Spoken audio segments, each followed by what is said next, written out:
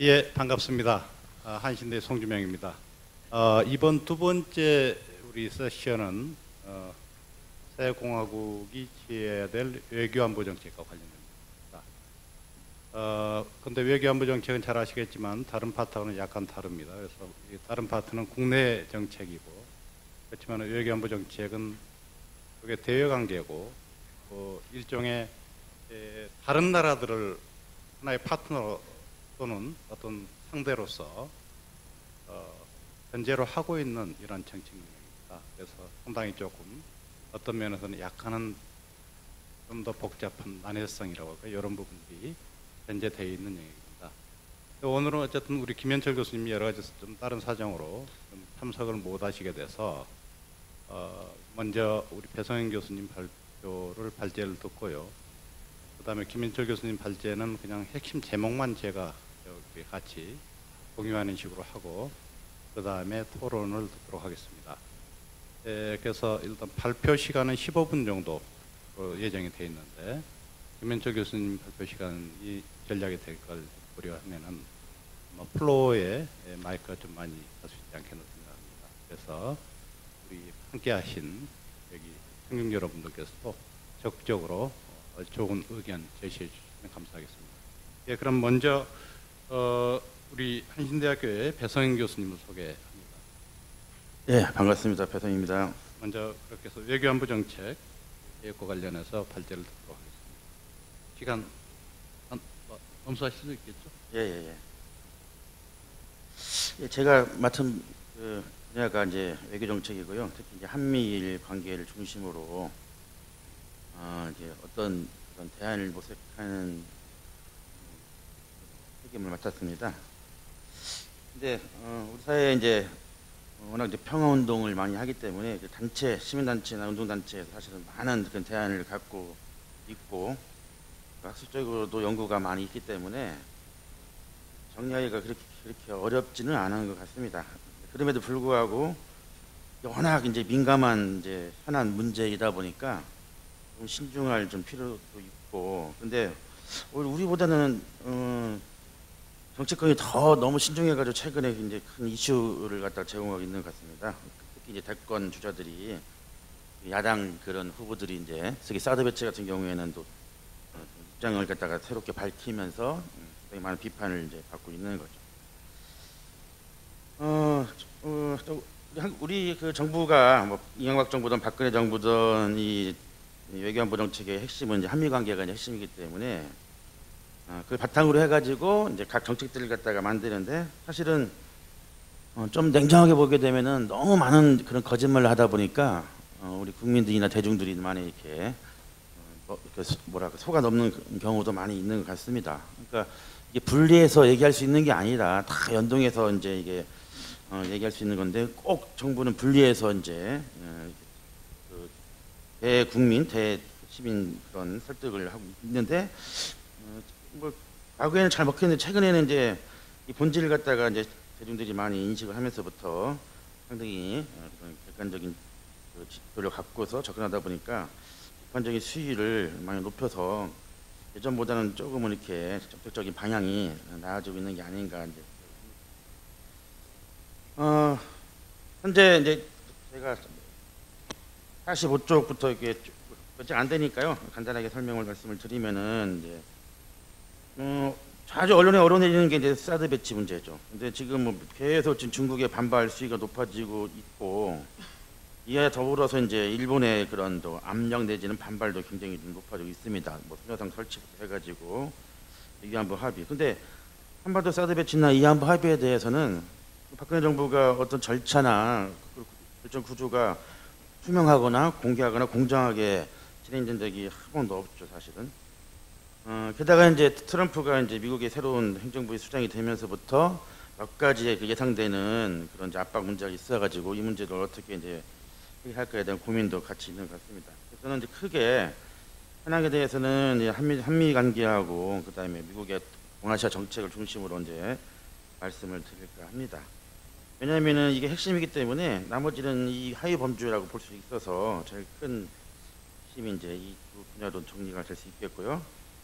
어, 박근혜 정부의 기본적인 외교안보 정책은 한반도 신뢰 프로세스가 있고 동북아 평화 협력 구상이 있고 유라시아 이니셔티브가 있는데 어, 좀 최근 언론의 보도에 가면 또 몇 가지 정책에 대해서는 최순실이가 또 개입했다는 설도 있어가지고 사실 너무 당혹스럽죠. 그러니까 정치학적으로 사회학적으로 분석이 참 안 되는 부분이 있다는 얘기입니다. 학문적으로 좀 접근이 어려운데 어, 어쨌든 이제 간에 정부 정부 출범 초기에는 이런 방식으로 이제 구성을 해가지고 사실은 진행시켰지만은 솔직히 이제 그 과정에서 보게 되니까 이 원칙들이 다 슬로건에 머물렀다 사실. 그리고 이제 찾아볼 수가 없다는 얘기입니다. 자초되거나 뭐 그래가지고 찾아볼 수가 없고 신뢰가 신뢰 프로세스를 갖다가 사실은 이제 진행시켜야 되는데 어차피 불신만 생기고 평협력이 아니라 이제 불안한 협력으로 이런 식으로 이제 정- 진행이 되고 있어가지고 오히려 그냥 어, 친미 일변도 외교에 머물렀고 사실은 이제 이명박 정부에 대해서 친미 일변도 외교라고 해가지고 계속 했지만은 어, 박근혜 정부도 크게 다름이 없었다. 물론 초기에는 이제 음, 정책 중에서 박근혜 정부의 정책 중에서 가장 유일하게 긍정적 평가, 평가를 받은 정책이 외교 정책은 였던 것 같아요. 언론 보도에 의하면은 툭하면 외- 외교에 나, 외국에 나갔으니까 한복 입고 패션 외교하고 그래서 근데 이것도 아- 나중에 보니까 별로 성과가 없었다는 거죠. 이미지 효과에다가 또 판타지에다가 거짓말과 기만밖에 없지 않았을까 이렇게 이제 보고요. 그리고 사실 이제 우리가 이제 그 주- 중국과의 관계라든가 미국과의 관계를 보게 되면 어떠한 어떤 어, 그 지렛대를 갖다가 갖고 있지 못하다.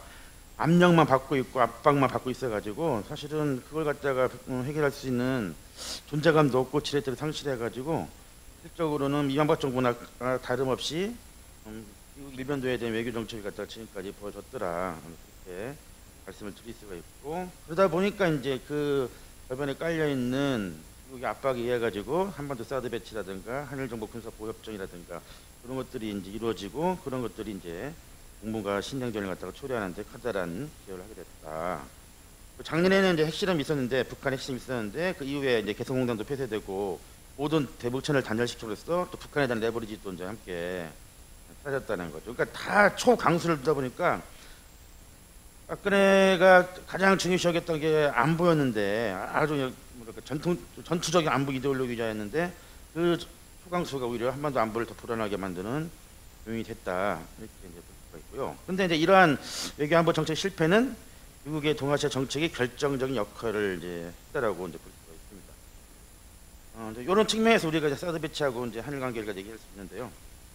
미국의 동아시아 정책을 보게 되면은 우리가 이제 학술적으로 흔히 이른바 뭐 이제 재균형 전략이라고 보통 얘기합니다. 그러니까 재균형 전략이 뭐냐 그러면은 한미일 동맹을 통해 가지고 아시아를 미국 외교 중심으로 삼아서 중국을 본격적으로 견제하겠다라는 것을 의미하고 뭐 그런 내용 중에 하나가 예를 들자면은 현재 그런 이제 군함의 비율을 60%까지 2020년도까지는 늘리겠다 뭐 이런 게 있고 그다음에 제일 중요한 것 중에 하나가 중국을 어떻게 봉쇄할까 견제할까 이건데 유럽에서 진행되고 있는 미사일 방어 정책이 이제 동아시아에서도 진행이 되고 있다는 얘기죠.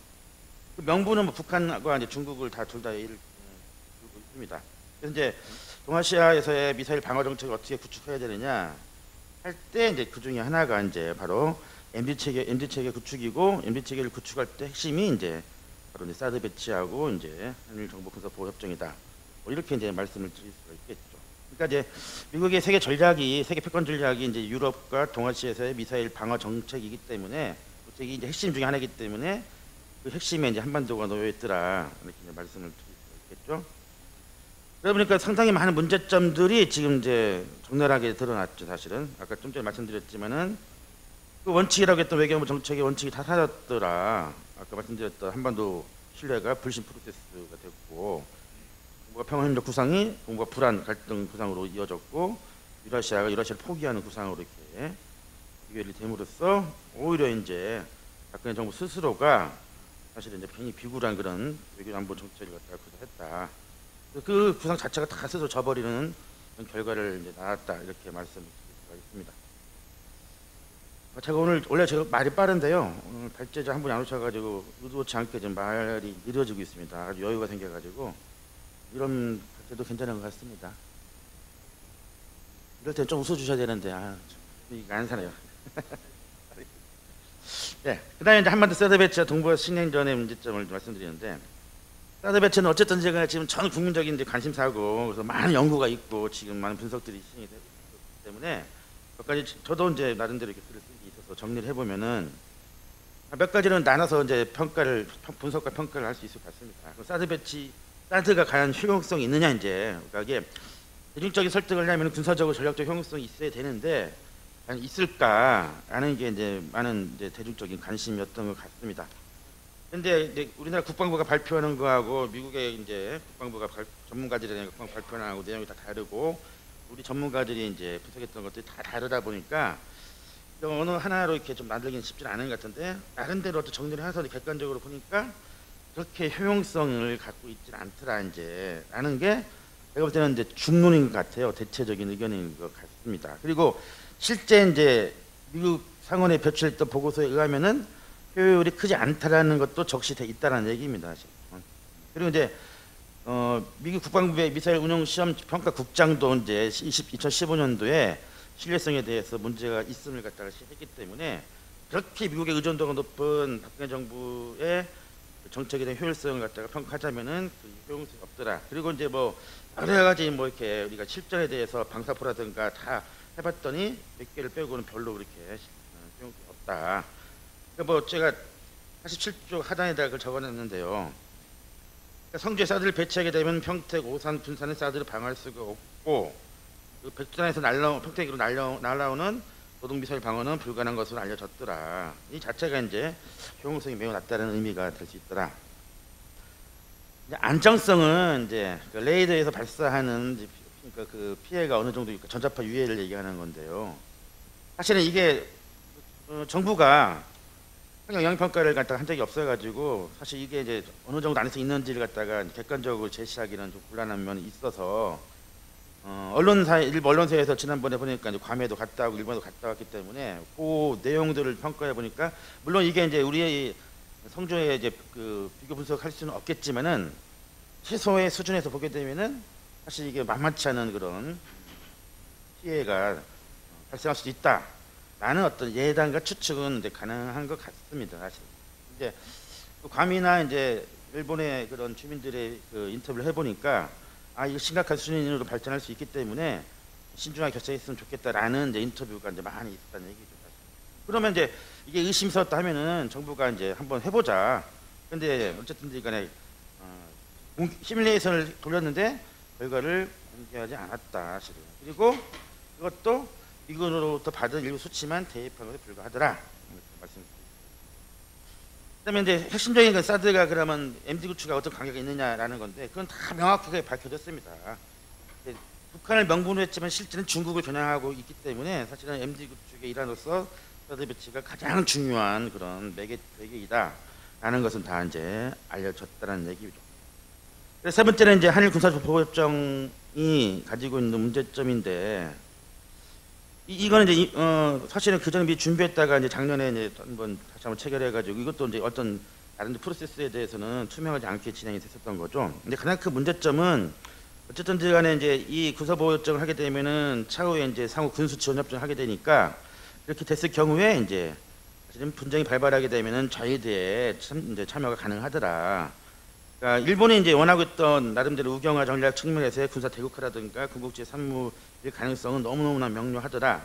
이렇게 얘기를 할 수가 있고 미국이 의도했던 동아시아 지역에서의 미사일 방어 정책의 핵심 중에 하나가 한미일 동맹인데 한미일 동맹을 위해서는 사드뿐만이 아니라 한일 군사 보호 협정도 하나의 매개더라 이렇게 이제 말씀을 드릴 수가 있죠. 그러니까 이제 MB 체제를 고려해가지고 한미일 삼각 동맹 체제를 구축하게 된다는 점이 있어서는 한일 군사 보호 협정도 사실은 상당히 심각한 문제점을 특히 이제 동북아 신장전을 갖다가 붙여야 한다 말씀드리고 굴욕적인 뭐 의안부 협의는 뭐 다 아시다시피 이건 도대체 납득이 전혀 안 되는 그런 뭐 협의라고 볼 수 있겠죠.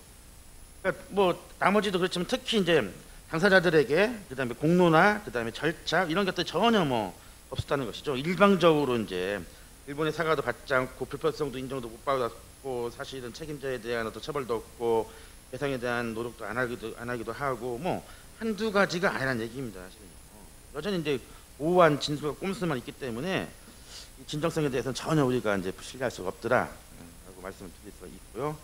그래서 이걸 바탕으로 해가지고 몇 가지 대안을 제시하면은 대안은 이게 사실 정책적인 것도 있겠지만 정치적으로 저는 그런 결단이 필요한 것 같습니다. 그런 문제점과 문제점을 말씀드렸기 때문에 사드 배치는 단호하게 반대해야 된다. 뭐 야당 일부 대권 주자들이 뭐 이렇게 신중하게 접근하고 다음 정부 얘기하고 그러는데 그렇게 접근할 수 있는 문제는 아닌 것 같습니다. 물론 이제 프로세스에서 다음 차기 정부에서 다시 한번 할지 모르겠지만 사실 명확한 그런 문제점 인식하면서 진행이 될 것이기 때문에 지금 현 단계에서는 사드 배치는 단호하게 반대하는 것이 맞다. 이렇게 이제 있고요. 우리에서 최순실이 어느 정도 개입한지 모르겠지만 그런 의혹도 한번 점검을 해볼 것 같고요. 두 번째는 한일 군사 보호 협정, 정보 보호 협정도 폐기되는 것이 이제 마땅하더라. 왜냐하면 이제 일본 자유에 대해 한번 진입 가능성이 농후해지고 있고 그다음에 어쨌든 일본의 과거사에 대한 책임도 지고 있지 않고 법적 책임도 안 지니까 이런 어떤 과거의 어떤 어, 뭐야 어, 문제점 책임을 바탕으로 해가지고 이건 조회체가 어, 체결하는 데는 불가하다.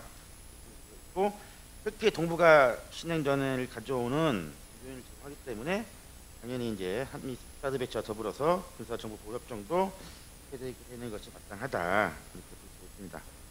어, 그 일환으로서 한일 위안부 합의도 폐기가 돼야 되겠죠 사실은. 이건 뭐 이거는 이제 국제사회에서도 는 용납이 안 되는 그런 합의이기 때문에 이건 도저히 이제 용납할 수가 없다 이제 그렇게 돼 있고 그런 측면에서 이제 어, 이 균형, 나름대로의 균형 외교와 동아시 협력을 위한 노력들이 좀 필요하더라. 우리가 지난 70년 동안 계속 얘기했던 것 중에 하나가 이제 비대칭적이고 불균등한 한미 관계를 얘기했는데 한 번도 이게 바뀐 적이 없어 나아지지도 않고 안보를 얘기했지만 실제 안보에 대한 개념도 매우 매우 부족한 것 같아요. 그 안보에 대한 적나라한 실태가 재작년에 그 2014년도에 세월호 아니겠습니까? 그게 얼마나 중요한 안보입니까? 그런 안보는 도외시하고 맨날 군사안보만 강요하고 불안정을 조성하고 있으니 기본적인 어떤 외교의 입장을 갖다가 명확하게 밝힐 필요가 있더라.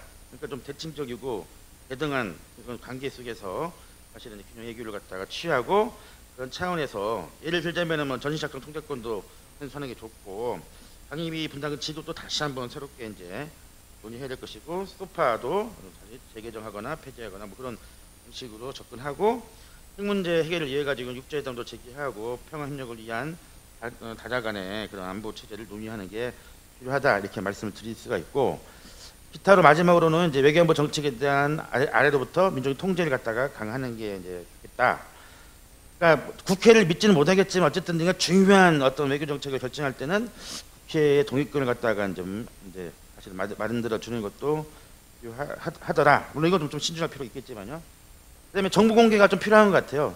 그 대중들을 설득하기 위해서는 어, 공개해야 되고 투명해야 되고 공정해야 되고 이래야 되는데 전혀 그런 게 없기 때문에 정보 공개를 갖다 강화해야 되겠다.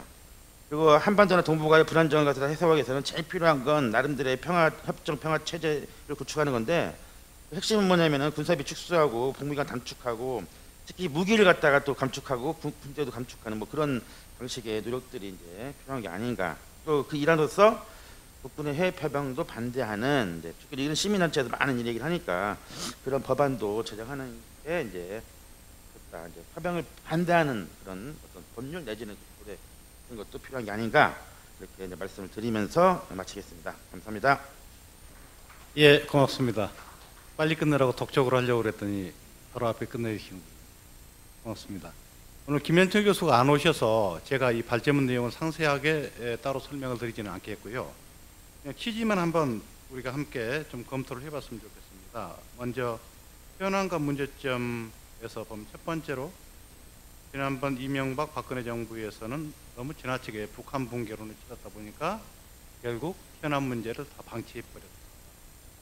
그래서 대표적인 경우가 박근혜 정부 들어와서 벌였던 개성공단 폐쇄 조치였고 그 결과를 보니까 결국은 북한에 피해를 주기는커녕 북한을 북한에 대해서 압박 효과를 주기는커녕 이거 자체가 사실은 우리 국민들을 괴롭히는 조치로 어, 돌아섰습니다. 그런 취지 같아요.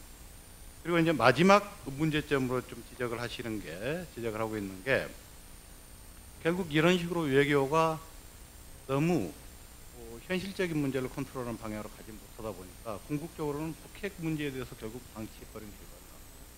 그래서 외교가 외교로서 할 수 있는 것은 잃어버렸다. 그런 지적이고요. 그래서 거기에 대한 대안으로 제시를 하- 이제 몇 가지 방향성을 제시를 하고 있습니다. 그래서 에, 에, 핵 문제를 풀겠다고 그러면서 모든 것을 다 닫아버리는 것은 문제가 심각하다. 대표적으로는 핵 문제하고 개성공단의 사례를 들면서 이것을 연계시켜서 어, 할 거냐 말 거냐를 결정하기보다는 병행해야 될 문제. 특히나 핵 문제를 해결하기 위해서도 이런 전략을 필요하겠다는 걸 지적하셨고요. 그다음 두 번째 원칙으로는 정경분리 원칙과 민간분리 원칙입니다. 그러니까 정치적으로는 어떤 대립들이 추구되고 여러 가지 경색 국면이 생길지 모르나 그럼에도 불구하고 남북한 관계에서는 여러 가지로 그렇게 처리되고 해결돼야 되는 현안들이 대단히 많다. 그 부분들을 분리해서 접근하지 않으면 안 된다. 세 번째는 중앙정부와 지방정부를 분리했으면 좋겠다. 그래서 중앙정부 차이에서, 차원에서는 에, 뭔가 좀 접근하기가 까다롭고 어렵다고 할지라도 지역 대 지역 레벨에 교류를 통해서 상당히 많은 부분을 또 해결할 수 있게 되는 이런 어, 결론들을 내려주셨습니다. 어, 굉장히 뭐 수고스럽게 원고로 써주셨을 텐데 제가 정리한 거로는 한 3분 정도로 지금 정리를 할 수밖에 없어서 죄송합니다. 구체적인 내용은 한번 차근차근 읽어보시면은 예, 술술 잘 읽히는 내용이지 않겠나 싶습니다. 그러면 일단 발제는 이 정도로 좀 마무리를 짓고요. 그 다음에 토론으로 바로 넘어가도록 하겠습니다. 조금 저희, 저희들이 이야기해서 조금 서두르는 이유는 우리 플로우에 계시는 청중 여러분들께 발언할 수 있는 그런 기회를 좀이라도 더 드리기 위해서입니다. 자, 그러면은 먼저 에, 우리 국가부 교수님, 예, 북한 대학원 대학에 계신 국가부 교수님이 어, 두 논문 모두에 대해서 좀 폭넓게 토론해 주시겠습니다. 간략하게 그냥 몇 가지만 좀 말씀을 드리겠습니다. 그러니까 뭐 그두분 선생님 의견에 뭐 대부분 동의하는데 어, 외교안보 정책의 어떤 그러니까 명확한 목표가 뭘까 그리고 그 목표 속에서 다양한 정책들이 좀 제시되면 좋지 않겠나라는 생각인데요. 그러니까 제 생각에는 어, 한반도 평화 체제라고 하는 것 그 속에서 그 예를 들어서 뭐그 한반도 평화 체제 구축이라는 걸 목표로 설정하고 그 속에서 다양한 쟁점 사안들이 발생을 하게 되는데 그러니까 어, 불가피하게 한미 동맹의 재조정 내지는 구조조정 그, 그 안에 포함될 수 있는 이슈가 될 것 같아요. 그래서 좀 어, 정책 목표 그리고 그 안에 다양한 것들이 좀 배치될 수 있는 형태로 좀 구성이 되면 않을까라는 생각이 좀 듭니다. 특히 이제 선생님 교수님 발표에서 더더욱 좀 그런 생각들을 좀 갖게 하고요. 근데 이제 두, 두 번째 문제는 뭐냐면 과연 지금 여기서 논의되는 이 대안들이 어, 현실에서 수용될 수 있는가의 여부에 어, 최근은 이제 뭐 대선 후보들 그뭐 구체적인 공약은 나오지는 않고 있습니다만 보면 외교안보 분야에서는 훨씬 더 이렇게 보수화되는 모습들을 보이거든요. 강한 안보, 뭐 동맹 강화 그런 식의 발언들이 계속 나오고 있는데 과연 어떻게 그 대통령 후보들이 여기서 얘기하는 내용들을 가져갈 수할 건가의 문제가 가장 긴급한 현안이 아닌가 싶고요. 아마 그 마지막으로 2017년 그러니까 올해 2월 내지 3월에 이제 어, 위기가 다가올 것 같은데 그러니까 김정일이 아니 김정은이 신년사에서 그 대륙간 탄도 미사일 발사가 임박했다라고 얘기를 했고 그 지난 11월이죠 작년, 작년 11월에 이제 북한과 미국이 그 비공식적 접촉을 통해서 북한 쪽에서는 그, 어, 그 트럼프 행정부 출범 즈음에 그러니까 뭐 도발 같은 것들을 하지 않겠다라고 얘기를 했지만 단 예외가 있다고 그렇거든요. 이제 한미 합동 군사 훈련. 네. 그 북한은 2015년 한 1월 정도부터 그 한미 합동 군사 훈련 중단과 핵실험 중단을 교환하는 제안들을 지속적으로 해 오고 있습니다. 거기에 이제 그, 그 대륙간 탄도 미사일까지 결합이 돼서 발생할 수 있는 위기가 한 2월, 3월 정도일 텐데 어, 과연 그 진보적인 외교안보 정책의 입장에서 그 위기에서 무슨 얘기를 할 수 있을까가 어떻게 보면 어,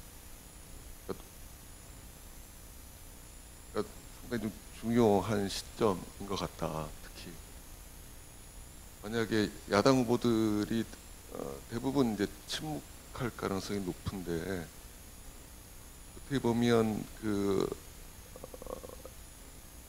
일종의 동맹의 제도정을 수용할 수 있는 그런 대안들을 이야기하게끔 할 수 있을까 오히려 좀큰 고민이다라는 거고요. 그런 면에서 아마 그 올 2, 3월에는 좀 시험대를 통과를 해야 되는 그러니까 야당 후보들이 발언하게끔 하는 데 있어서 좀 강제가 필요하지 않을까 그런 생각을 예, 고맙습니다. 굉장히 현실적인 걸 잘. 예, 그러면 분 이어서 평화통일연구소의 오해란 선생님. 입니다. 그 외교안보 들리시나요? 예. 예, 국방 분야는 사실 아, 적폐가 누적된 60년, 70년 이상 누적된 대표적인 분야입니다. 단 한 번도 국방 개혁에 성공을 해본 역사가 없습니다. 그래서 적폐에 축적이 된 이 분야를 어떻게 개혁할 것인가라고 하는 것은 사실상 우리 사회의 개혁의 어, 어떤 근본 출발이자 또 어, 완성되는 영역이 아닌가 싶고요. 어, 최근에 이슈가 사드이기 때문에 관련된 적폐에 대해서 좀 말씀을 드리면 어, 현재와 미래에 우리의 안보, 국익을 좌우할 또 외교안보 전략을 좌우할 이 문제에 대해서 한미가 합의를 했는데 주한미군에 사드를 배치한다고 합의를 했는데 그 합의서 내용이 정확하게 공개된 바가 없습니다. 내용뿐만이 아니고 합의서 명칭과 사인한 사람도 제대로 언론에 공개되지 않았습니다. 국회에서 주민들이 그 합의서 내용을 공개하고 그 내용이 우리 안보와 국익에 도움이 되는 건지 아닌지 검증 절차를 밟아야 된다는 주장에 대해서도 국방부가 한미동맹 사안 외교안보 영역에 있어서의 군사비밀을 내세워서 공개하지 않고 있는 것이 오늘의 대한민국의 현실이죠. 이 부분에 무력하게 굴복하고 있는 것이 정치권의 현실입니다. 사드는 다 아시는 것처럼 어, 그 작전 성능, 운용이 한 나라에 국한되는 것이 아니라 이웃 나라에 영향을 미치고 그것이 또 작전 통제권을 즉 주한미군이 사드를 배치했을 때 또 한국군의 MD 전력과 관련해서도 주한미군이 그 작전 통제권을 행사하기 때문에 그 언제 누가 쏜 미사일을 어떻게 쏘아 맞출 것인가라고 하는 문제가 외국군 주한미군한테 있는 상태 아니겠습니까? 그러면 그 요격이 우리의 안보를 더 불안하게 할 수도 있는데 남의 나라 전쟁에 끌려 들어갈 수 있는 그런 조건이 되는데도 우리는 이 내용이 어떻게 한미 합의서에 기재가 돼 있는지 재정 부담은 어떻게 질 것인지 대략 국방부가 얘기하는 사드 도입 비용과 운영 유지비는 미군이 낸다. 나머지는 한국군이 낸다. 이거 말고는 구체적으로 어떻게 되는지 알 수가 없습니다. 이런 게 그대로 용인되고 있는 이 영역을 이제 에, 개혁을 하는 것이 대단히 중요하다라고 하는 점 음, 그리고 아까 배성인 선생님 말씀하셨던 이 영역에 대한 민주적 통제, 국회의 통제, 밑으로부터의 어떤 검증 이런 게 대단히 중요하다는 말씀에 이제 적극적으로 동의를 하고요. 음, 이후에 외교안보 정책을 어, 짜나가는 데 있어서 뭐 국가부 선생님 이제 뭐 정치권 대, 대선 주자들이 뭐 의지가 있을지 뭐 여러 가지 고민이 된다 하셨는데 저는 이제 오늘 이 토론 자리를 그 교수 연구자 비상시국회에서 만들었기 때문에 어, 그 지점에서부터 이제 출발을 풀어 나가야 되지 않을까 생각이 됩니다. 사실 이후 외교안보 정책을 구상하는 데 있어서 우리가 냉정하게 현실을 기반으로 출발한다고 했을 때 외교안보 정책에 있어서 동맹 문제, 두 번째 핵 문제에 대한 명확한 분석과 입장을 과 대안을 세우는 것 없이 어, 차기 정권 누가 들어서더라도 어, 격동하는 동북아 정세 변화에 제대로 대응하기 어려울 것이다 이렇게 생각이 됩니다. 이제 동맹은 한미 동맹, 양국 간의 동맹으로 국한되지 않고 있습니다. 한국에 사드를 배치하고 한일 사이에 군사정보 비밀 보호 협정이 체결이 되고 지금 한일 정부 사이에는 자유대가 한반도 유사시에 어떤 조건과 절차에 따라서 개입하게 될지를 논의하고 있습니다. 한마디로 한미일 군사 동맹이 구축되고 있는 상태에 있는 것이고 그것은 곧 미국이 오랫동안 아시아에서 제기하고 추진해왔던 집단 방위 체제 아시아판 나토의 결성을 지금 앞두고 있는 상황입니다. 그렇기 때문에 한미 동맹은 이제 북한만을 대상으로 한 것이 아니라 미국이 한국과 일본을 끌어들여서 중국과 러시아와 대적하는 그런 안보 환경이 우리한테 펼쳐지고 있다. 이미 한국에 사드를 배치하게 한 합의로부터 그것은 시작되고 있다라고 하는 점을 어, 명확하게 한 조건 하에서 그것이 과연 우리의 평화와 또 통일을 실현하는 과정에서 어떤 조건으로 작용할지 이 부분에 대한 이제 어, 판단, 입장 뭐 이런 것들을 이제 세워야 되지 않겠나 그렇게 생각이 되고요. 두 번째는 핵 문제입니다. 어, 2008년도 육자 회담이 어, 중단 결렬된 지로부터 지금 어, 8년이 흐르고 있는데 그 사이에 어, 북한이 핵실험을 추가로 했고 핵 능력을 더욱 확장했고 핵 전력을 어, 강화하겠다고 얘기를 하고 있습니다.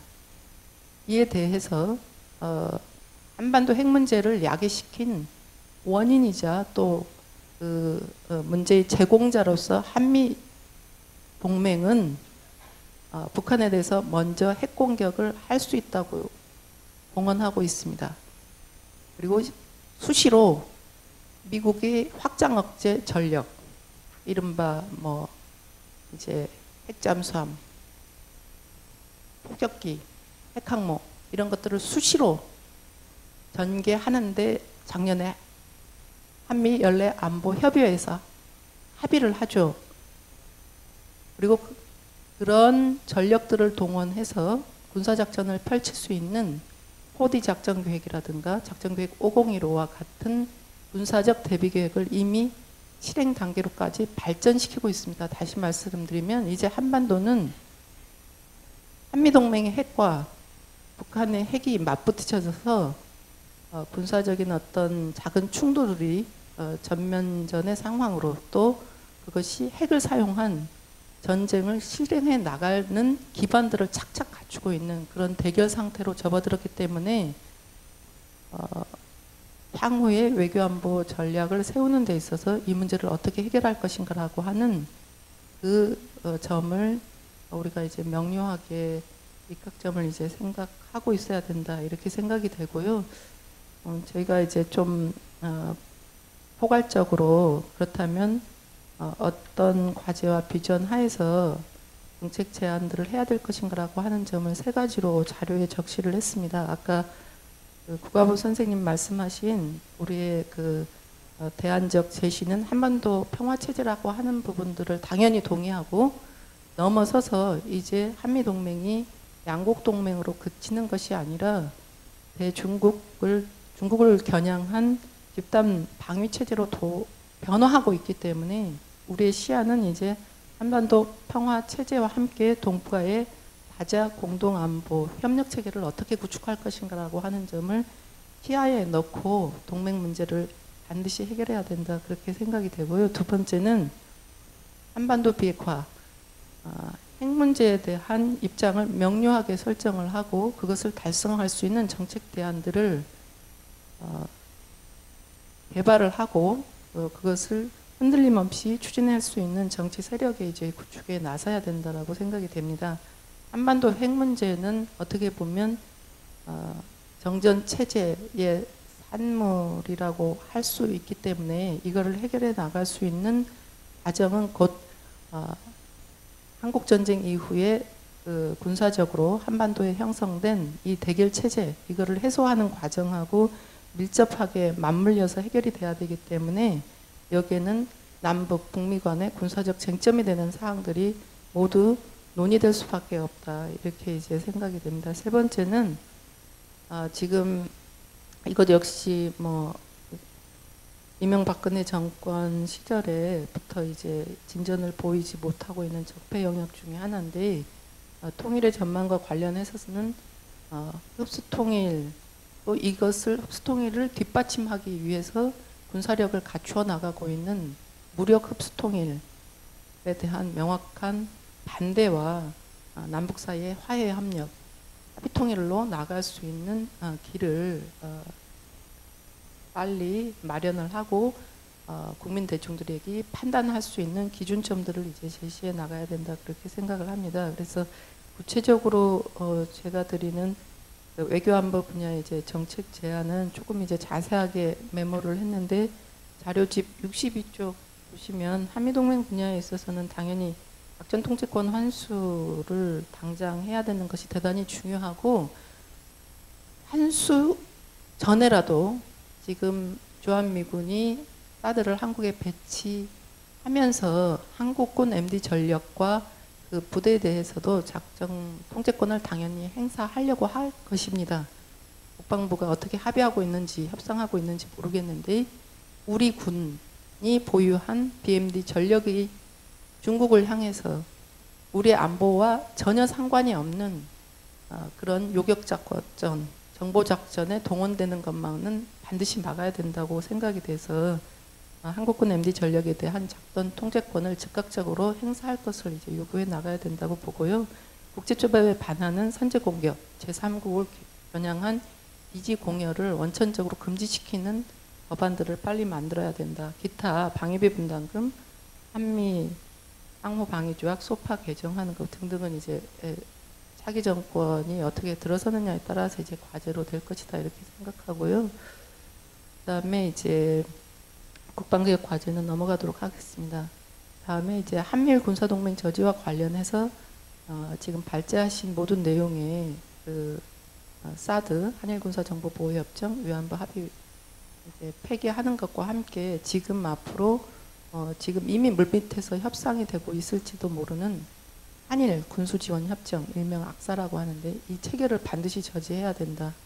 그리고 이미 협상하고 있는 자위대 한반도 진출 조건 절차에 대한 협상을 중단시켜야 된다라고 생각이 들고 어, 9.19 공동 성명이나 또 이미 중국에서 제안하고 있는 아, 이제 아시아 신뢰 회의라고 하는 아, 다자 공동안보 평화 체계 구축을 위한 협상과 아, 기구들을 구성하는데 즉각적으로 나서야 되지 않겠냐 이렇게 생각이 되고 한반도 비핵화와 더불어서 어, 우리를 둘러싼 주변에 핵무기 없는 아, 그런 지대를 만들기 위한 협상도 개시돼야 된다 이렇게 생각됩니다.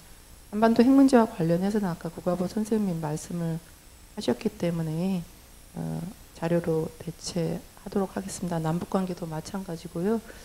이제 저희가 이제 국회에서 뭐 얘기하다 보면 마지막에 지금 반인도적인 대량 살상 무기 관련 금지 조약들이 국제적으로 이제 제기되고 또 어, 이제 국제 규범으로 자리 잡아 나가고 있습니다. 우리 국방부는 어, 집속단이나 대인지뢰 어, 이런 것들도 이미 국제법에서 어, 금지하는 이런 부분도 한국의 특수 상황을 들어서 가입하지 않고 있습니다.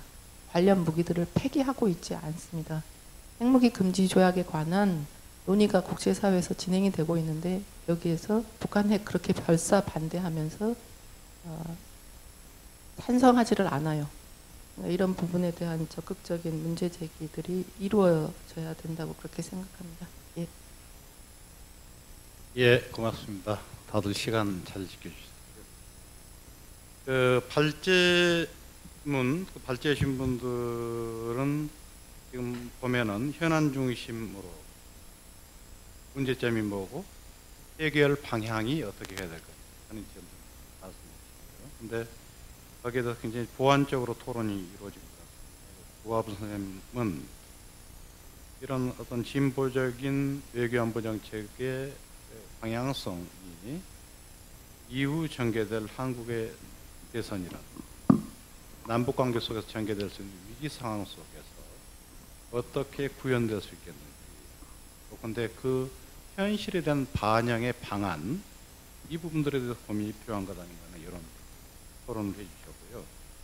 오해란 선생님은 어, 그 토론과는 약간 결이 좀 다르지만은 어, 외교안보 정책이 가져야 되는 진보적인 외교안보 정책이 가져야 되는 어떤 중장기적인 기본 비전이 필요한 것 아니냐 이런 차원에서 말씀해 주신 거고요.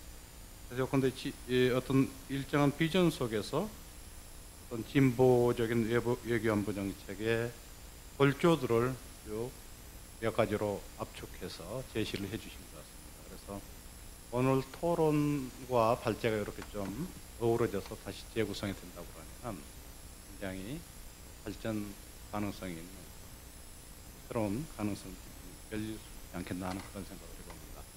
지금 어, 발제와 토론을 쭉 들으셨는데요. 이제는 우리 프로에 계시는 선생님들께 궁금한 부분이나 아니면은 평소에 갖고 계신 지론도 좋습니다. 그래서 좀 토론하실 수 있는 그런 시간을 갖도록 하겠습니다. 예, 혹시 의견 있으신가요?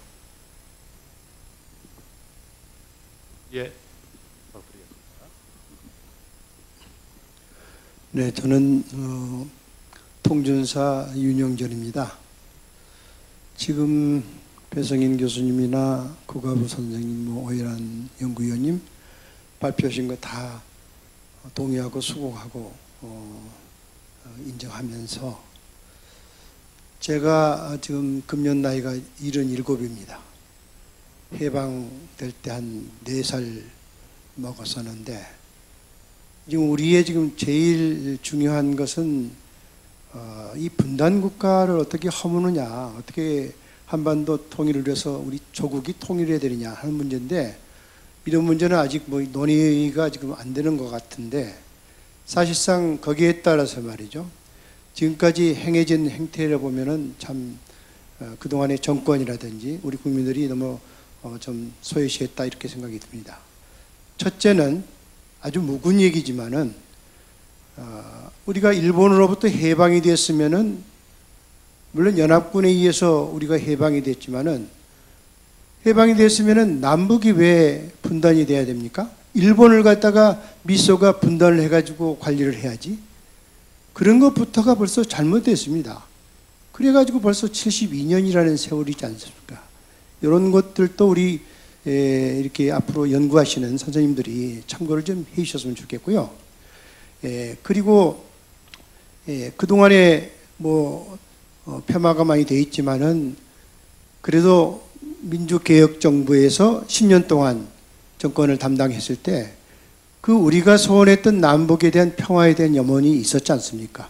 교류도 많고 그리고 거기에 따라서 개성공단도 되고 금강산도 관광되고 이런 것들이 정권이 바뀌고 또 자기의 마음에 들지 않는다고 또 미국이나 일본의 눈치나 보고 모두가 다 폐기해버리고 말아버리는 이러한 작태 이러한 수구적 정권을 다시 또 우리가 맞이해서 이명박 정권이라는 것을 우리가 8, 8, 9년을 지금 지내고 있는데 이거는 진짜 조국의 아주 반역자고 처단해야 할 그런 어, 대상이라고 저는 생각을 합니다.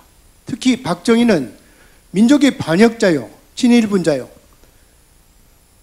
그동안에 18년 6개월이라는 그러한 유신 독재 속에서 살아가면서 자기 스스로 또 스스로가 아니라 하여튼 그렇게 죽음을 맞이했는데 그 이후에 또 딸이 또 이게 4, 5년 앞으로 또 뭐 이제 몇 개월 할는지 모르겠습니다만 하고 있다는 이런 자체가 이거는 있을 수가 없는 소위 역사를 우리가 지금 겪고 있던 편인데요. 이런 걸 다 해결할 수 있는 힘은 뭐냐? 저는 이번에 광화문 촛불에서 보면서 아 이거는 진짜 이번에는 이걸 이겨낼 수 있는 힘이 되겠다. 그래서 지금 현재 여러 가지 준비를 하고 있는 것 같은데 어, 또 적당히 하다가는 도레미탑을 될 그런 가능성이 많다. 그래서 이번에 이렇게 발표하고 연구하고 우린 이번 그 토이 예, 분명한 예, 혁명 평화혁명 이런 시대에서 이걸 해결해야 되겠다 이런 생각을 좀 했습니다. 감사합니다. 예, 고맙습니다. 또 있으신가요? 예, 김생 교수님. 예, 앉았어 좀. 그, 뭐, 배성에서 여기 뭐 토론자도 한번 물어보고 싶은 게 있는데, 군 작전권 해소 문제. 뭐 당연히 뭐, 자- 어, 어, 자주적 국민국가 같으면 군 작전을 가지고 있어야 되는데, 우리가, 어, 미국과 한국과의 그간의 이제 이 대북 관계를 보면은, 미국이 한반도에서 한반도에서 전면전 국제전이 아니고 전면전을 일으킬 수 있는 능력을 가진 국가는 미국밖에 없는데 그 말은 맞는데 근데 그, 그동안의 남북 관계를 보면은 남북 관계 악화돼 가지고 군사적 충돌이 있고 할 때 남한 정부가 북을 공격하고 싶어 할 때도 상당히 있었단 말이죠. 예? 있을 때 미국이 남한 정부가 스스로 도발하는 것을 전쟁을 막은 억제시키는 것도 있었거든요. 근데 만일 어, 미국이 뭐 부추- 부추겼다 하면은 뭐 전면전도 뭐 각오하고도 어, 붙을 수 있는 상황도 몇 번 있었다고 뭐 판단이 됩니다. 그러면은 군작전권을 해소해야지만 하지만 반드시 그와 더불어서 정권이 이런 대북 강경책을 취하는 수구적 어떤 보수 세력이 정권을 맡아서는 안 된다는 것을 함께 강조해 줘야지 군사정권만 하면 지금 박근혜한테 안 그래도 지금 막 어? 예를 들면 전쟁을 하고 싶은 날, 날뛰는데 예? 죽버리면 박, 박근혜가 정말 예? 어, 전쟁하지 말라는 법도 없잖아요. 이게. 뿐만 아니고 미국이 안 하고 싶어도 안 하고 싶어도 미국을 끌어들이기 위해서도 도발을 할수 있단 말이에요. 미국을 끌어들이기 위해서 최근에 와서 최근에 와서 어 뭐 참수 작전을 자꾸 부추기잖아요. 한국 정부가. 예? 어, 그래서 나는 내, 내 생각에는 군작전 해소 문제를 반드시 이 우리 한국의 정부 성격과 관련시켜서 강력하게 어, 이런 냉정적 수구 세력의 집권을 막아야 한다는 것도 같이 강조해 주면서 나는 주장하는 게 좋지 않겠느냐 싶은 생각이 하나 있습니다. 그 다음에 그 다음에 사드 문제를 이야기할 때 뭐 미국의 뭐 글로벌한 이런 그저 전주구적 방어 체제죠. 그래서 그런데 되게 자꾸 접근할 때 방어용 방어용 자꾸 이야기를 하는데 막 그 사드 자체야 방어용이죠. 그런데 미국이 미국이 글로벌한 이 MD 체제를 구축해서 어, 뭐 한반도 1, 1단계, 2단계, 3단계 중청적 방어 시스템을 만들려고 하죠. 어? 만들려고 하는데 이게 정말 정말 이 방어용이냔 말이죠. 예, 방어용이냐는 거죠. 기본적으로 제가 생각할 때는 방어용이 아니고 이거는 선제적 공격을 가능케 하기 위한 하나의 방법이라는 거죠. 예를 들어서 먼저 선제 공격을 가하면은 상대방의 중국의 뭐 핵력을 100% 같으면 90%를 파괴시켜 버리면은 그런 중국이 당연히 미국에 보복을 할 텐데 선제 공격을 가고 나면은 90% 파괴하면 10%만 남잖아요. 그 10%를 방어치시로 막는다는 거죠. 그러니까 선제 공격을 가하고 난 다음에 남아 있는 공격해오는 미사일을 MB 체제를 통해서 막아버리면은 미국은 중국에 대해서 언제든지 선제 공격할 능력이 있고 중국은 없다는 거죠. 어, 없죠. 그러면 그 국제 사회에서 중국의 발언권은 미국에 완전히 굴복할 수밖에 없는 거죠. 예? 따라서 이, 이 방어 방어용이라기보다 이것이 기본적으로 선제 공격용이라는 것을 좀 더 명확하게 좀 할 필요가 있지 않겠느냐 싶은 생각이 좀 있고요.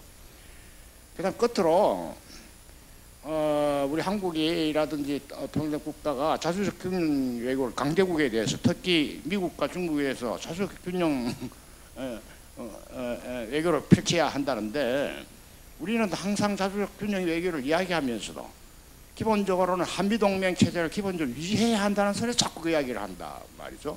한미동맹 체제를 그런데 그러면서 나타난 것이 뭐 안중 안, 아, 안미 경중이죠. 어? 안보는 미국에 의존하고 경제는 중국과 관계를 그걸 균형외교라 자꾸 이야기하는데 아니 상대방의 국가에 대해서 경제적 관계가 깊어지는데 어떻게 상대방의 안보 문제를 무시하면서 어? 경제 관계를 깊습니까? 그러니까 경제 관계가 깊어지는 것과 안보도 같이 가는 건데 그러면 기본적으로 자주적 균형 외교 외교를 찬성한다면은 기본적으로 안보도 안보도 중국과 미국의 안보를 공동으로 뭐 보장한다든지 하는 이 시스템 가야 되는 거고 그러면 기본적으로 장기적으로 한미동맹 체제를 다 폐기해야 하고 어? 폐기해야 하고 어, 탈 어, 탈미 탈미 안보 정책이 필요하다는 거죠.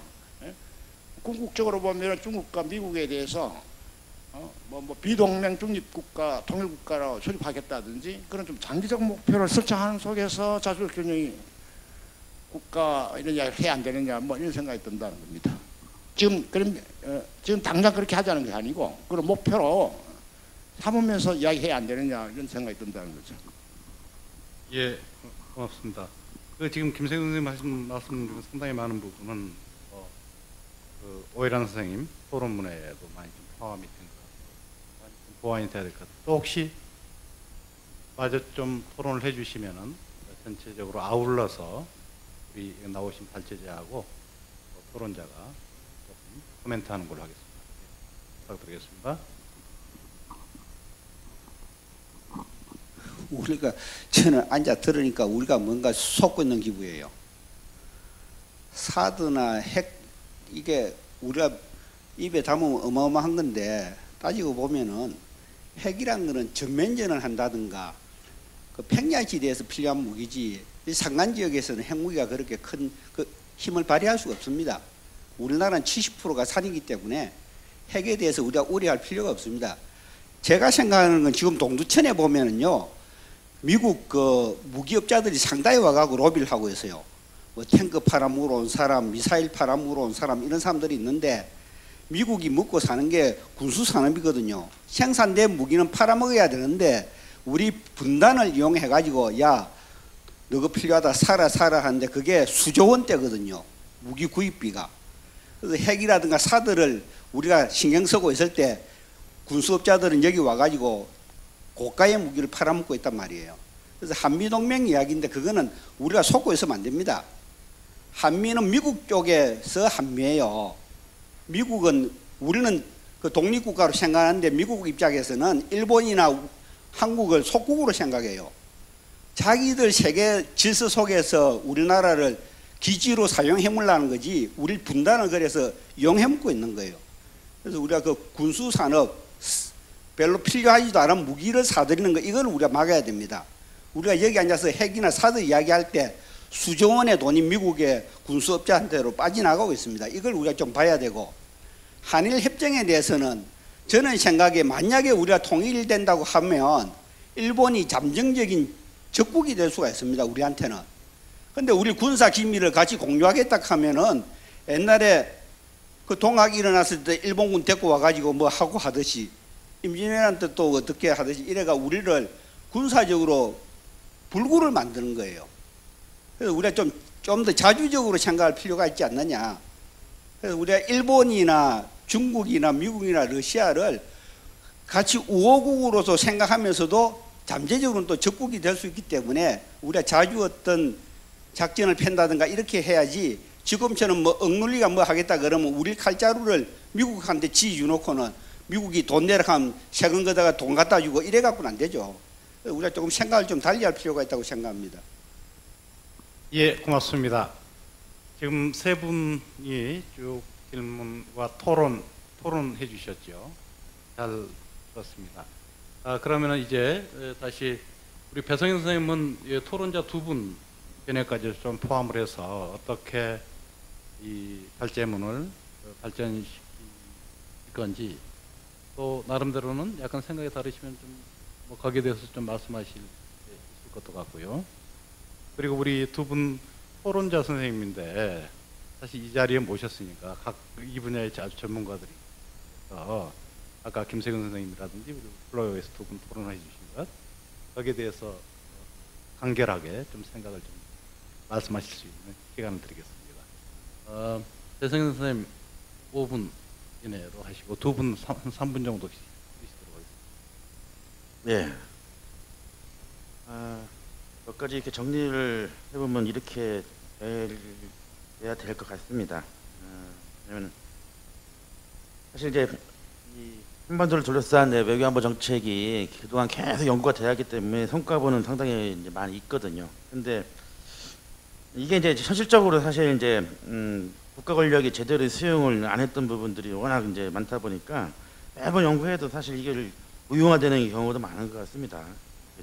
안이 없어서 그런 게 아닌데 대체적으로는 거의 뭐 공감대가 이루어지는 것 같고 어, 나머지 그 중에 몇 개는 아마 좀 더 세밀한 검토가 이제 필요한 것 같습니다. 그래서 이렇게 생각하면 될 것 같아요. 뭐 아까 국가 선생님 말씀처럼 외교안보 정책의 목표 설정이 주- 음, 좀 필요하고 중요하더라. 뭐 그것도 저는 동의하고요. 근데 목표 설정을 할 때도 저는 이제 단기적 과제, 중장기적 과제 나눠서 한번 이렇게 한반도 평화도 그럼 거기 맞춰가지고 정책을 갖다가 그다음에 동북아 다자안보 협력 체계도 그렇게 이제 했으면 좋겠다고 생각을 이제 하고요. 근데 아까 김세현 선생님께서 말씀해 주신 것들이 이제 제가 미처 이제 고민 중이 있던 건데 그런 것 같아요. 그러니까 전작권 한수가 가지고 있는 아주 그런 어, 뭐랄까 위험성 같은 게 아까 말씀하신 그런 거 아니겠습니까? 그러니까 정부 성격에 따라서 그 용도가 달라질 수도 있더라. 근데 그걸 어떻게 그러면은 이제 통제할 것인가가 핵심인데 아마 이제 요- 이런 것 같아요. 그러니까 전작권 한수를 갖다가 보수적인 정권이 사용할 수 없게끔 마음대로 하기 위해서 이제 아래로부터 통제가 필요한데 과연 국회에서의 동의만으로 가능할까 이제 그러면 시민사회가 뭔가의 장치를 만들어야지만 저는 가능하지 않겠나. 그러니까 국회도 또 성격과 맞춰야 되기 때문에 어, 국회 그 다- 어, 보수 세력이 만약 다수면은 뭐 정부 성격하고 같이 가기 때문에 그것도 막을 수는 없지 않- 않겠습니까? 그래서 그런 측면에서 보게 되면 아마 그럼 시민사회가 통제할 수 있는 그런 장치도 필요한 게 아닌가 이제 생각을 하고요.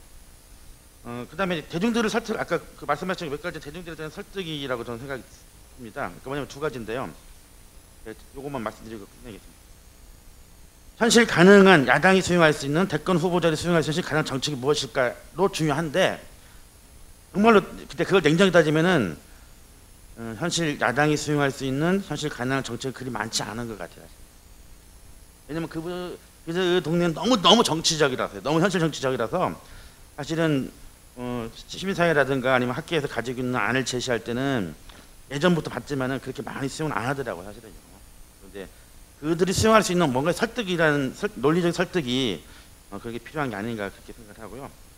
그다음에 이제 이걸 또 대중적으로 접근해가지고 대중들로 하여금 그 인식을 제고해가지고 여론을 만드는 게 전 중요하다고 생각합니다. 아까 선생님 말씀하셨던 것처럼 선제 타격론에 대한 내용들을 갖다 우리가 약간 소홀히 한 면이 있었죠. 그러니까 그게 명확한데도 불구하고서도 예를, 예를 들자 들어서 이게 중요하다면은 그 지점들을 부각시켜서 대중들로 하여금 동의하고 지지해서 분위기를 확산하는 방식도 좀 필요한 게 아닌가 그런 것들을 연계해가지고 정치권이 수용할 수 있는 방식을 하는 것도 필요하다라는 그런 데 생각을 했습니다. 그리고 마지막으로는 오늘 이렇게 얘기를 들어보고 정리를 해보니까 어, 한밀과 한밀 관계하고 남북 관계를 이렇게 분리해서 이렇게 그 정리할 필요는 없을 것 같아요.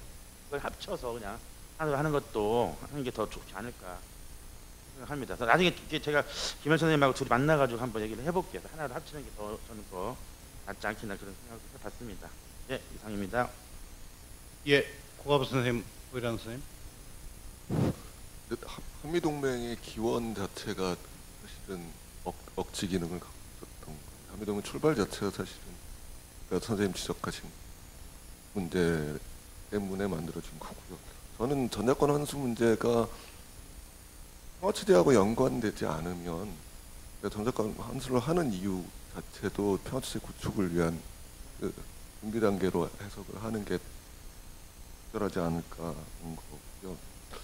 그다음에 사드는 어, 냉전 시대의 공포의 균형을 깨는 시도이고, 그러니까 상대방의 핵 억지력을 인정하지 않, 않으려는 어떻게 보면 미국이 그 힘의 압도적 우위, 절대적 우위를 추구하는 과정에서 나온 산물이라고 보는 게 적절할 것 같고요. 마지막으로는 그 어,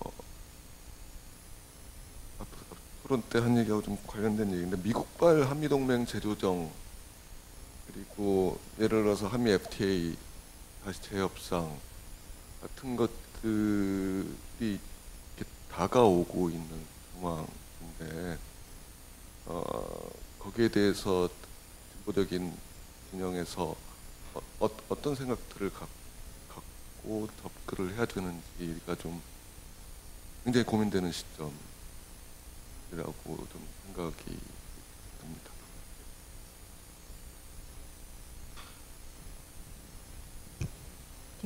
김세균 교수님 말씀하신 것과 상, 관련해서 제 생각은 이렇습니다. 미국이 뒷배 봐주지 않고 북한에 대해서 먼저 선제 공격을 해서 전면전을 치르겠다고 하는 간 큰 한국 군인은 없을 거다. 저는 그렇게 생각합니다. 아, 미국은 당연히 한반도 위기와 한반도에서 이제 대결을 원인을 제공하고 필요에 따라서는 긴장을 부추기고 있죠. 그리고 어떤 때는 한국 정부의 무모한 어떤 어, 정책을 제어하는 그런 모습을 보여준 것도 사실이라고 생각을 하는데 미국은 기본적으로 한반도에서 자신들이 원하는 때 원하는 조건에서 원하는 목적을 달성하기 위해서 때로는 군사적 옵션, 북한과의 어떤 군사적 충돌과 아, 전쟁을 염두에 두고 있다. 우리는 그걸 늘 생각해야 하고 정책을 판단하고 미국의 움직임을 주시해야 된다고 그렇게 생각을 합니다. 그렇다고 해서 저는 작전 통제권을 보수 선생님 논리에 따르면 이명박근혜 정권 하에서는 한수를 주장하는 게 위험하다 이렇게 되는데 저는 아니라고 봅니다. 그것이 우리의 주권의 일부를 미국에게 양도한 것이고 미국은 그렇게 얘기를 하고 있죠. 이렇게 자기 나라 주권을 다른 군대에 위임한 이양한 나라는 전 세계에서 한국밖에 없다 이렇게 얘기를 할 정도로 주권의 경이로운 양도라고 얘기를 할 정도로 이제 그런 심각한 문제인데 그렇기 때문에 그것은 보수 정권도 작전 통제권을 외국군한테 이양한 이 부분을 굉장히 부끄럽게 생각하고 그걸 환수해야 된다는 당위성에 대해서 부정하지를 못합니다. 그렇기 때문에 우리는 적극적으로 환수를 주장해야 된다고 생각을 하고요. 어, 사실은 작전 통제권을 우리가 환수하게 될 때여야만 무모한 대북 군사 전략을 수정할 수 있습니다. 작전계획 5016, 5027, 5029 노무현 정부 시절에 전부 다 매우 공세적으로 변화되어 나갔죠. 그 과정이 사실은 미국이 이라크에서 중동에서 벌인 전쟁을 한반도에서 적용하는 과정에서 이쪽 상황에 맞게 그 작전 계획을 공세적으로 변화시켜 나간 거거든요. 그렇기 때문에 미국이 그 작전 통제권을 우리가 환수해야만 미국이 대북 도발적 공사 공세적인 전략, 군사 전략 이런 부분들로부터 우리 군이 영향을 받지 않을 수 있다는 점에서 저는 전자권은 조건 없이 환수해야 된다 이렇게 생각하고 그다음에 국가부 선생님 말씀하신 평화 체제의 어떤 대화의 계시하고도 미- 밀접하게 맞물려 있기는 한데 노무현 정부 시절에 작통권 환수 협상을 시작해야 된다는 근거의 하나로 이제 아, 남북 사이에 또 남북 미중 사이에 한반도 평화 체제 관련된 논의를 해야 되는데 우리가 최소한 그 논의에 적 어, 권한을 가지고 참석하기 위해서는 작전 통제권도 없는데 무슨 평화 체제의 핵심이 군축하고 군사적 신뢰 구축 문제인데 그것도 없이 협상에 참여하려고 하냐. 그러니까 우리는 이걸 빨리 환수해서 협상에 참여해야 된다는 기반 논리적 기반 중에 하나였는데 당연히 또 그런 면에서 작전권 환수에 시급성이 있다고 보지만 아, 또 반드시 그 협상이 진행되지 않고 있으므로 이 얘기는 또 뭐 별 중요하지 않다거나 또 현안이 아니라거나 이렇게 논리가 연결되는 건 좀 저는 반대하는 입장에 서 있다 이렇게 말씀을 드리고요.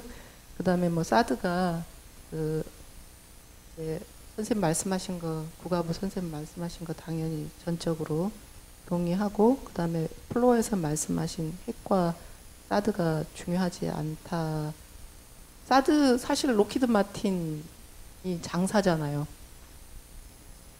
록히드 마틴이 이 현 정권에서 팔아먹은 무기가 12조 원 이상이 되고 있습니다. 그 중에서 사드가 제일 커요. 그리고 이거는 하나 주한미군에 배치되는 것으로 끝나는 게 아니라 이어서 한국군 보고 분명히 그걸 사라고 합니다. 하나 더, 두개 더. 로키드 마틴의 먹이가 되고 있다. 그리고 그것은 단순히 무기를 돈을 줘서 미국 걸 사오는 것만이 아니라 그걸로 환산할 수 없는 우리의 미래를 저당 잡힐 수밖에 없다는 그런 측면에서 어, 그거를 뭐 분리해서 생각할 문제 아니라고 생각하고 핵 문제는 어, 핵무기가 당연히 뭐 그 현실에서 사용될 수 있는 가능성이 대단히 작지만 한반도에서 이 문제를 도외시하고 어떤 외교안보 정책도 또 평화 운동도 할 수 없다고 생각합니다. 저는 그래서 뭐 여기 발제 반전 뭐 반핵 이 얘기가 나와 있던데 어, 한반도 핵 문제를 해결하기 위해서 정치권이 받아들이지 않는다 하더라도 저는 그 여야 사이에 최소한 합리적 토론을 붙여서 또 국민들이 그걸 판단할 수 있는 기준을 가질 수 있도록 적극적으로 개입해야 된다고 저는 생각하거든요.